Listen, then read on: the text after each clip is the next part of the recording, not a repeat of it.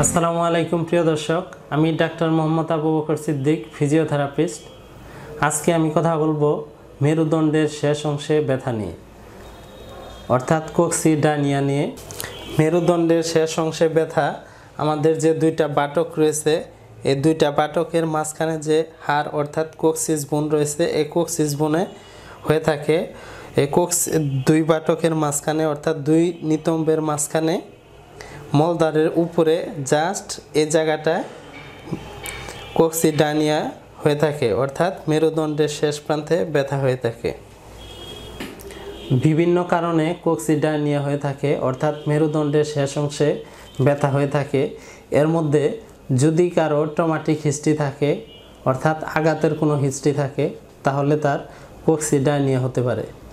আবার কারও যদি ফ্র্যাকচার হয়ে যায় অর্থাৎ মেরুদণ্ডের শেষ অংশ কোক্সিস বোন যদি ভেঙে যায়, তাহলে তার কোক্সিডানিয়া হতে পারে।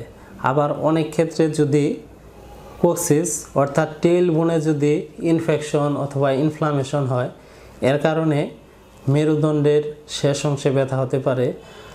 আবার কিছু কিছু মানুষের জার্নি করলে, অর্থাৎ জার্নির কারণে এই প্রবলেমটা হতে পারে, অর্থাৎ কোক্সিডাইনিয়া হতে পারে। কারও যদি কনস্টিপেশন থাকে, অর্থাৎ পায়খানা যদি শক্ত হয়ে যায় দীর্ঘদিন যাবৎ, তাহলে তার কোক্সিডাইনিয়া হতে পারে।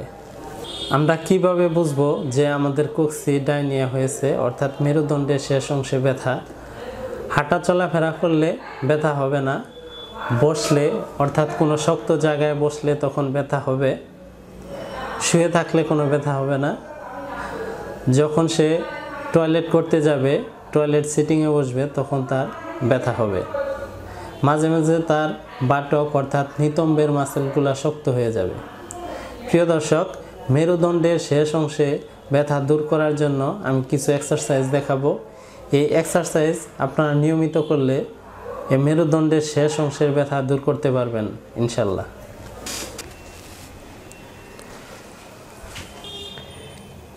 এক্সারসাইজ নাম্বার ওয়ান প্রথমে হচ্ছে হাঁটু ভাঁজ করে এভাবে টেনে বুকের দিকে লাগাতে হবে। জাস্ট এভাবে টেন সেকেন্ড হোল্ড করব অ্যান্ড টেন রিপিটেশন দিনে তিন থেকে চারবার করব। আবার একইভাবে অপর হাঁটু টেনে বুকের দিকে লাগানোর চেষ্টা করব।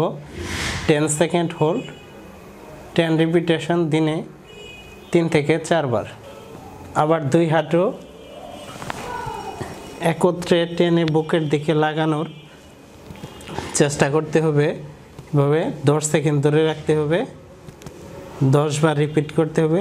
দিনে তিন থেকে চারবার মোট কথা, প্রত্যেকটি এক্সারসাইজ আমরা দশ সেকেন্ড ধরে রাখার চেষ্টা করব এবং দশ বার রিপিটেশন করার চেষ্টা করব। এই এক্সারসাইজগুলো দিনে তিন থেকে চারবার করব।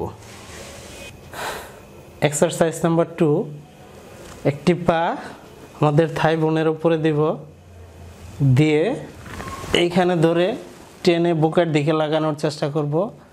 দশ সেকেন্ড ধরে রাখব। দশ বার রিপিট করব দিনে তিন থেকে চারবার আবার সেম পজিশনে এই পা ডান পায়ের উপর দিব, অর্থাৎ দুই পায়ে করতে হবে।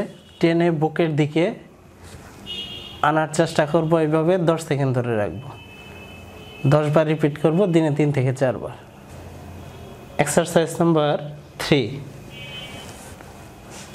জাস্ট এইভাবে ধরে, অর্থাৎ আমাদের থাইমনটা জাস্ট নাইনটি ডিগ্রি অ্যাঙ্গেল করে, এখানে ধরে পাটা স্ট্রেট করার চেষ্টা করব। দশ সেকেন্ড ধরে রাখার চেষ্টা করব। এই পা হয়ে গেলে আবার এই পা।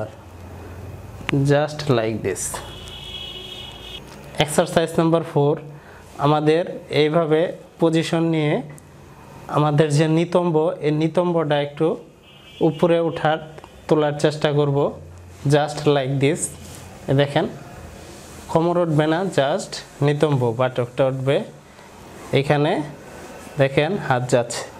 এভাবে দশ সেকেন্ড ধরে রাখব। আমি আবার দেখাচ্ছি জাস্ট দশ সেকেন্ড ধরে রাখব, দশ বার করব, দিনে তিন থেকে চারবার এক্সারসাইজ নাম্বার ফাইভ জাস্ট এরকম পজিশন নিয়ে একটা পা উপরে উঠানোর চেষ্টা করতে হবে জাস্ট লাইক দিস এভাবে দশ সেকেন্ড ধরে রাখতে হবে। আবার অপর পায়ে এভাবে উঠিয়ে দশ সেকেন্ড ধরে রাখতে হবে। প্রিয় দর্শক দেখানো এই এক্সারসাইজ যদি আপনারা নিয়মিত করেন, তাহলে আপনাদের এই ব্যথা দূর হয়ে যাবে ইনশাল্লাহ।